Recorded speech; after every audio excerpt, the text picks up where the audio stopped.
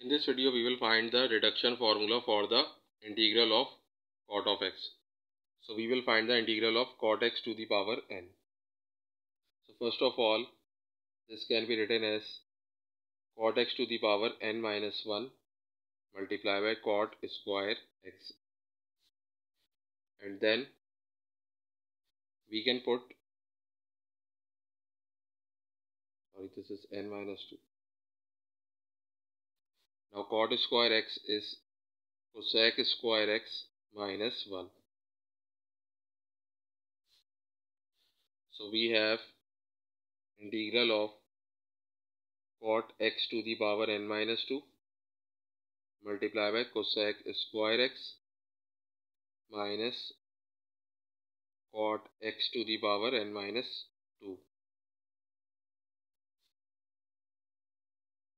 then dx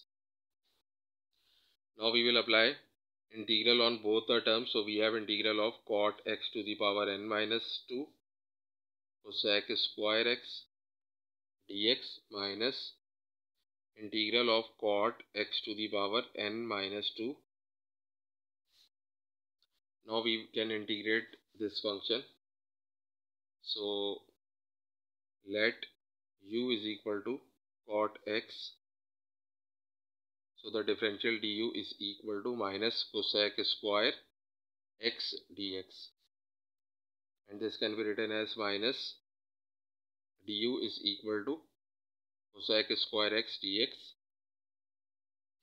Now we put u in place of cot x and minus du in place of cosec square x dx.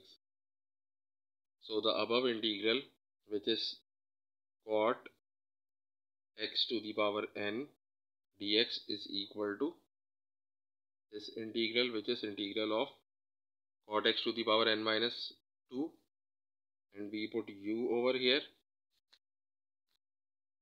So we have u to the power n minus 2 and in place of cosec square x dx we will put minus du and then minus integral of cot x to the power n minus 2. Now this can be written as minus integral of u to the power n minus 2 du minus integral of cot x to the power n minus 2 dx.